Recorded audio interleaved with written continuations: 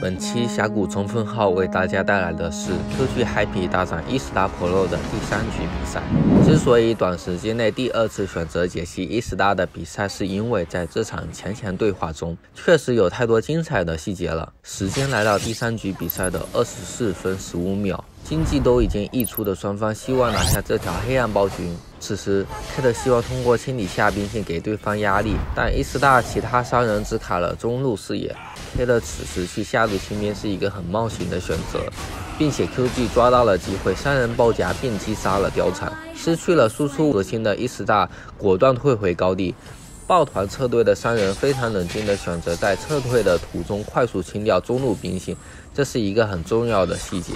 如果伊斯大只顾撤退而没有快速清掉这波兵线，那么接下来王昭君会跳过他们中路的兵线，直接和队友在下路汇合。他们将利用这波超级兵逼伊斯大打架。然后有机会造成对方警员，并在下一波兵线进塔时终结比赛。但实际情况是，这个时间段的超级兵拖住了王昭君很长时间，再加上孙策觉得自己状态不好，选择稳妥回家。QG 方面实际上已经放弃了通过这波超级兵逼伊斯拉打架的思想了。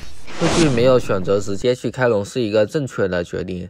在这种情况下，先在对面高地断三路兵线，再去开龙是一个收益最大化的选择。在貂蝉还有十秒钟的时候就要去开双龙了，超级兵别放出去。QG 在清理三路兵线后，却没有立刻去开龙。王昭君在上路露头，想清掉这个漏掉的炮兵。伊斯拉抓住这个正面战场四打四的机会，准备反打。狄仁杰只用大招，立刻开启逐日之弓，希望尝试定住老夫子后击杀。但是老夫子走位躲过了这个黄牌。注意狄仁杰此时的装备，他为了追求输出最大化，卖掉了鞋子，买了电刀。此时用掉了逐日之弓，意味着狄仁杰失去了关键的四十加速和增加射程的保命与进攻的机会，这为接下来团战失败埋下了第一个伏笔。这时 QG 就应该撤退了，但是他们看到孙策大招进场，想看看有没有机会造成对面减员。孙策在大招进场被吕布挡下后，还向前交出了一技能。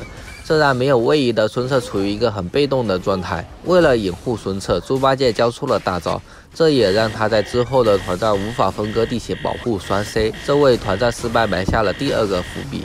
貂蝉马上复活，QG 必须撤退，但狄仁杰还希望用大招定住吕布。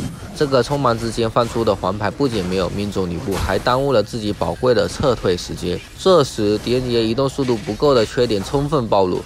QG 在撤退的时候忽略了这一点，其他人跑得太快，将狄仁杰直接暴露在伊斯拉的面前。吕布看准机会，果断大招接闪现打出输出，再接一技能把狄仁杰打到只剩三分之一血量，王昭君也被打半血。老夫子快速接近，捆住了王昭君，并吸引了 QG 秦牌的注意力。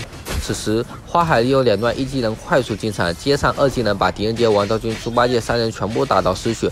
吕布看准机会，用一技能拿下三杀。此时，QG 方面只剩两人，无力阻挡伊斯大四人在中路的进攻。他们果断选择利用下路兵线的优势偷家，但伊斯大的团战获胜后依然保持冷静。老夫子和貂蝉及时退防，不给 QG 任何机会。除上述团战外，这场比赛中还有许多精彩的细节。这不愧是东部最强两支队伍的精彩对决。